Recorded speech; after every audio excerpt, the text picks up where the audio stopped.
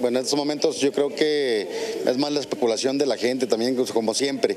Los precios aquí en el mercado de abastos oscilan entre los 20 y 22 pesos al menudeo, 20, eh, 21 al, mayoreo. Eh, aquí cabe mencionar una cosa que es muy importante, no es tan grave la cosa como muchos dicen, como la prensa lo maneja.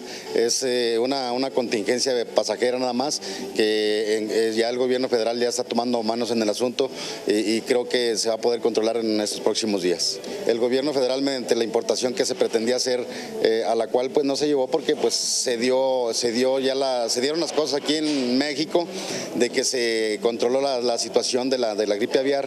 Eh, creo que este problema que se viene mencionando no es tan grave como, se menciona, es mucho menos que eh, el año pasado. No, creo que haya ningún problema en cuanto a más incremento del producto. Vale la pena mencionarlo una vez más, eh, concientizar a todas las amas de casa que este, se abstengan de, un poquito de ayunar en el consumo del huevo para que así podamos este, mantener el precio y se puede hasta bajarlo un poco más. La producción ahorita está igual, eh, como, te, como les repito, eh, va, eso depende ya mucho del consumo que se tenga aquí en, en, en el mercado, en el, a nivel municipio, a nivel estado, los precios yo creo que se los podemos manejar.